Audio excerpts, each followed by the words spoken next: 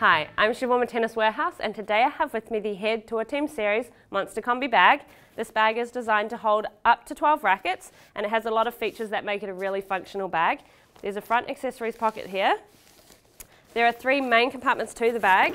The first one opens up, as you can see, there's a Climate Control lining to protect your rackets from the heat. The middle compartment actually has a mesh pocket on the inside for organisation. And the third compartment actually has a middle divider, as you can see here. So it just allows you to keep things a little bit more organized in this third compartment. There are middle grab handles that are adjustable, so it just makes this bag a little bit easier to carry, as well as padded, adjustable and removable backpack straps. This is the Monster Combi 12 pack bag in the Head Tour Team series.